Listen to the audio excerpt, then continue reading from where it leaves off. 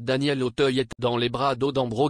l'acteur de 74 ans cool des En 2006, les tourtereaux se sont dit oui pour la Le Maire. Une histoire d'amour sur laquelle il était revenu notamment dans 7 à 8 sur TF1, le 7 février à la journaliste Audrey Crespo-Mara, il livrait sa routine, je me lève assez tôt, je prépare le petit dé, je lui dis un peu ce que je vais faire. Mais bon, comme c'est toujours pareil j'arrête de lui dire sa vie, Daniel Auteuil la partage avec Aude Ambrogui, une artiste de 47 ans originaire de et ce n'est pas leur 27 ans d'écart qui a été un frein entre eux, c'est Daniel Auteuil croise sa route à une station essence et la recroise le soir même dans une dis. Il y a dans son regard quelque chose de léger qui m'a tout de suite j'ai compris très vite que sa légèreté me manquait, c'est comme ça que j'ai su que je l'aimais, et à post shared by 7 à 8